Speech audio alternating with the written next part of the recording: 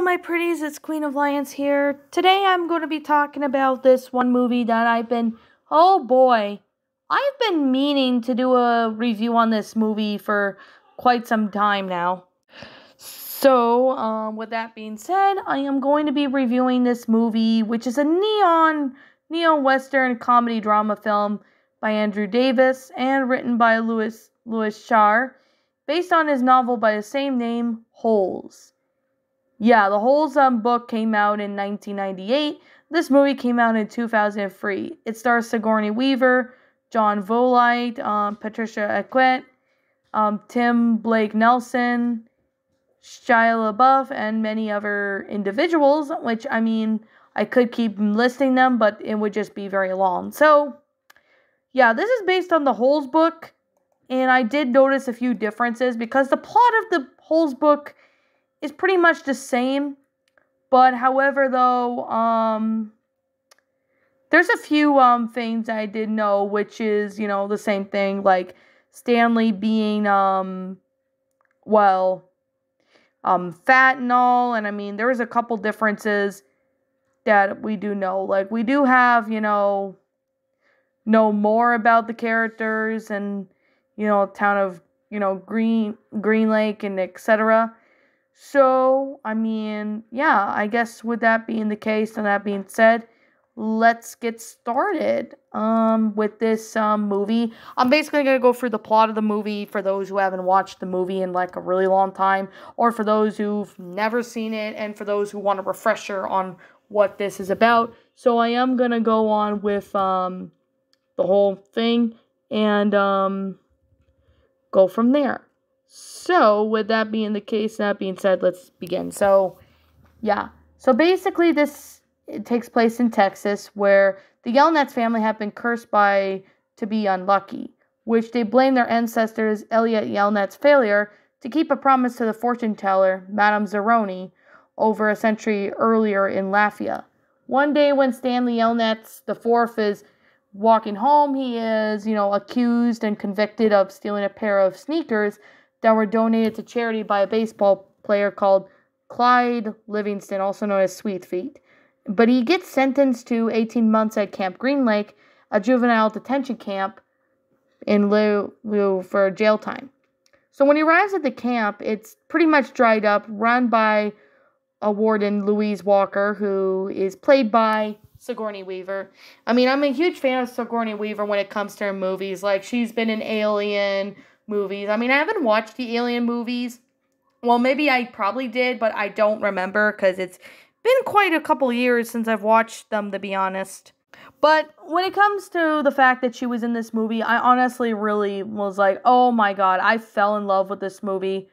I mean, I mean, I watched it when I was a kid in school. I'm sure most kids who've read the book in school probably have watched the movie. I mean, I've talked to so many people that have read the book and watched the movie. They said they prefer the movie prefer than the book. I mean, I saw this when I was a kid, so it's actually one of my childhood favorites. So basically, she Louise Walker, the warden, has an assistant named Mr. Sir and a camp counselor, Dr. Podensky. The prisoners who are known by their nicknames, including Zero, Zigzag, Armpit, Squid, X-Ray, and Magnet, each spend their day digging holes in the desert as they may earn a day off if only the inmates find anything interesting. However, one night when Mr. Sir rescues Stanley from a yellow spotted lizard, which he warns Stanley that they're aggressive, venomous, and lethal. So when they find a golden lipstick tube, initial KB, aka um, Kate Barlow, Stanley is accepted into the group and is given a nickname Caveman when he found the fossil.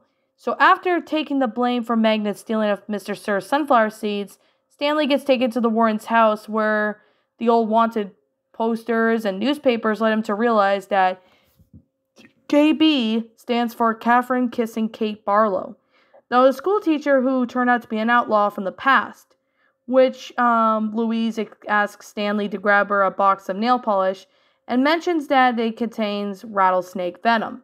So, after he and Mr. Sir explain what happened with the sunflower seeds, of course, Louise decides to injure Mr. Sir and allows Stanley to return to his hole. So the Camp Green Lake's history is revealed to be a series of flashbacks throughout the movie. The as flourishing lakeside community in the 19th century.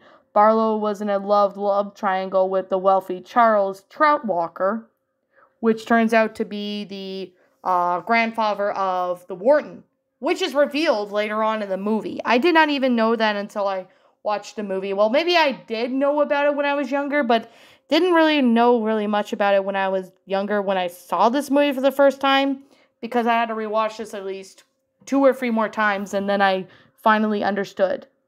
Which Kate Barlow rejects, and an African American onion seller named Sam, who Kate Barlow loves, the Walker who is jealous, well, Trout Walker, the town citizens burn down the schoolhouse and kill Sam after, you know, in retaliation. Barlow kills the local sheriff, who basically ignore her pleas to help and becomes the outlaw by hunting down the Walker's men.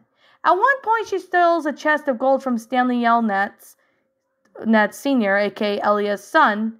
Twenty years later, they're now bankrupt, and the Walkers track down Barlow to tell her to hand over the treasure. But when Barlow refuses to tell them to dig for the treasure, Barlow dies from a lizard bite, and the Walkers are set to dig for the treasure.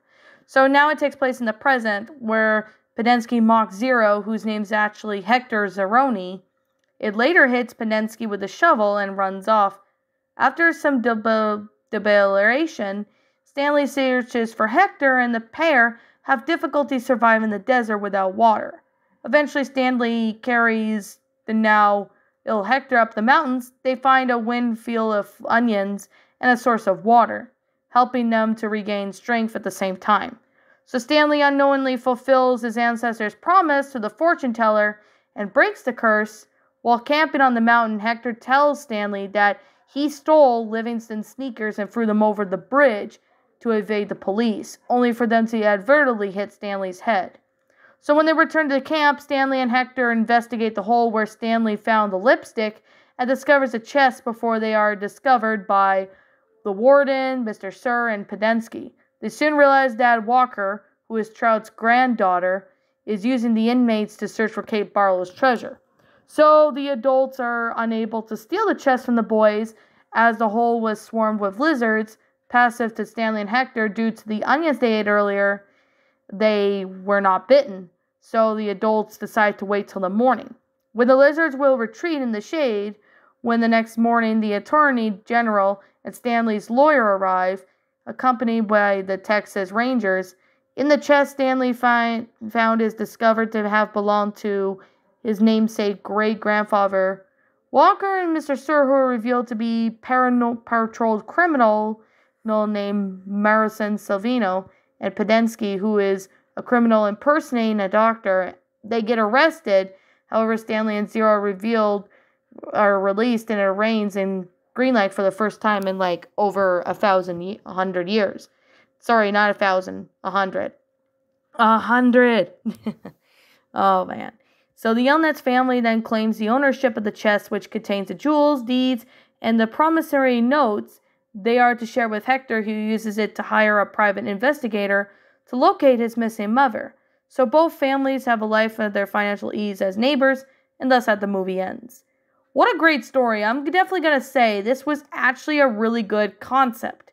Like, it actually has a really it's a really good concept in the movie, like especially when I saw it when I was younger. I really thought this was nice. I really liked them. So I could definitely say it's definitely really um it's pretty good actually. I mean, I really personally thought it was nice. So, the difference from the book and the film are that, you know, in the book it states that Stanley is very fat, but it doesn't tell you any and tells you nothing about him in the film about being bullied about his weight.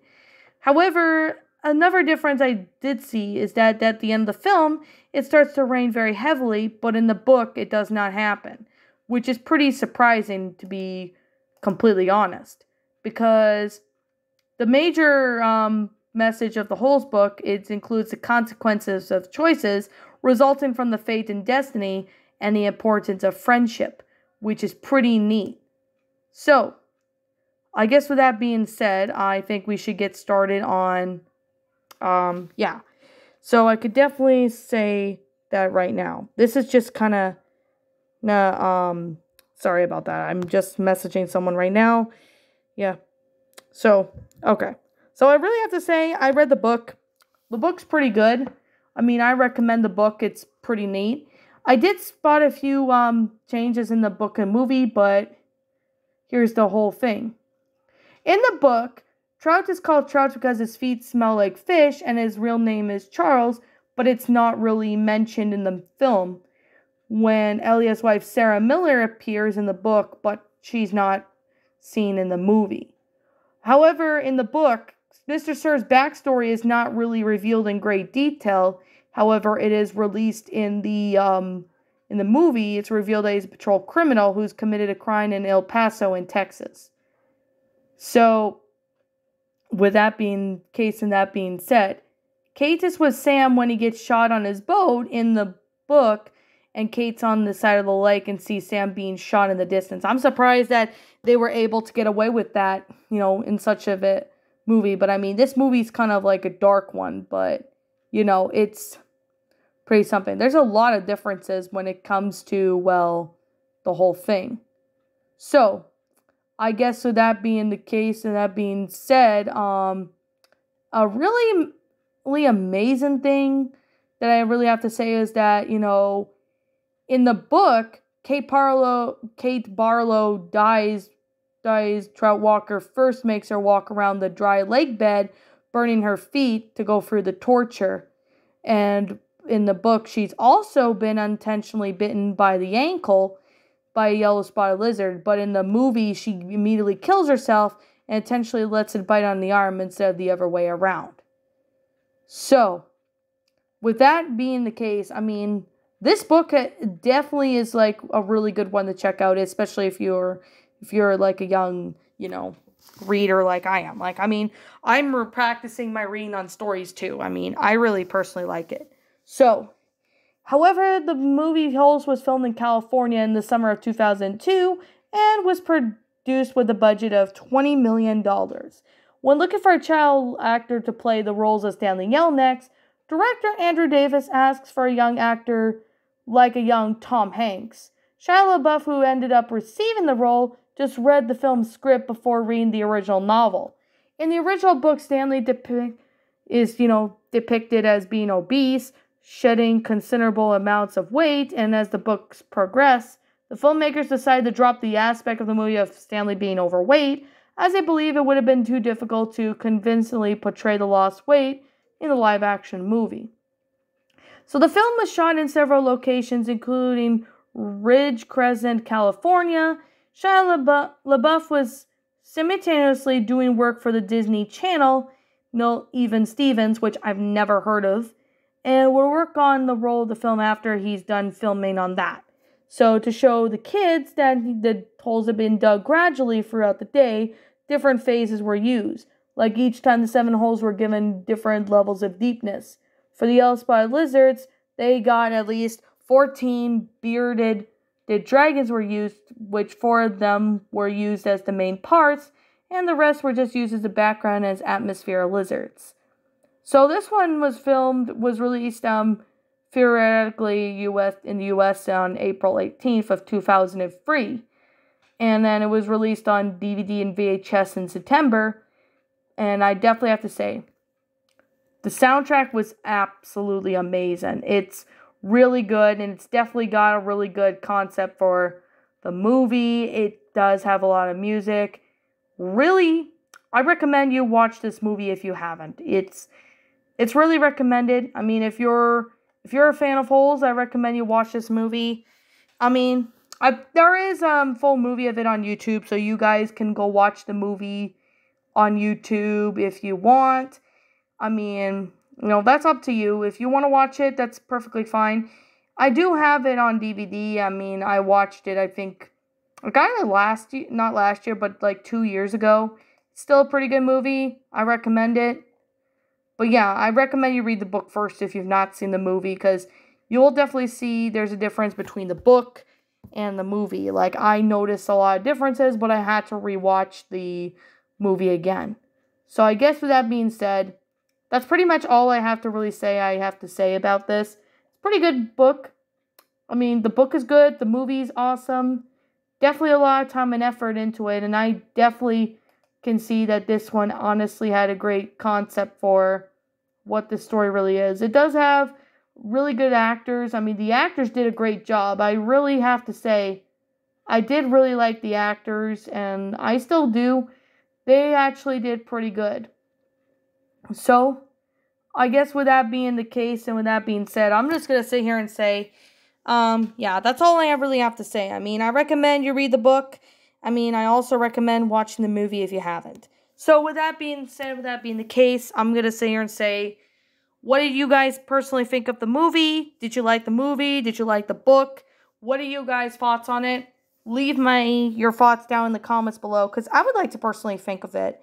I mean, I do apologize for keeping this on the back burner for like two years. I was originally going to start off with this episode when I start off Shadows and Pretties back in 2020, but I decided to do The Wizard of Oz because it would kind of make more sense that, you know, I'm more of a Wizard of Oz fanatic, but I still have, you know, heart of this movie. So with that being the case, what did you guys think? Um, if you like the movie, that's cool. If you don't like it, that's fine. If you like the book, that's cool. I respect your opinion regardless. But with that being said, and that being the case, I'm going to sit here and say, what do you guys think? Feel free to leave me your thoughts down in the comments below. Feel free to express your opinion. Seeing that most of you guys are respectful, I don't have any problems with you disagreeing with me. So, yeah, what did you guys think? Um, leave me what your thoughts in the comments below. I'm the Queen of Lions. Thank you so much for watching today's episode. If you're new to my channel, feel free to like, comment, subscribe, ring the bell for notifications to when I upload. And as always, I'll be seeing you all in the next video. I'm not sure when another episode will be. I'm sorry I've been kind of, you know, the lack of, you know, pre-recording these episodes. I just haven't had motivation. But I am trying to get it somewhat back so I can do these again. I just got, you know, other stories I want to try and do. So yeah, please bear with me there. But anyways, I'll see you all in the next video. Peace out.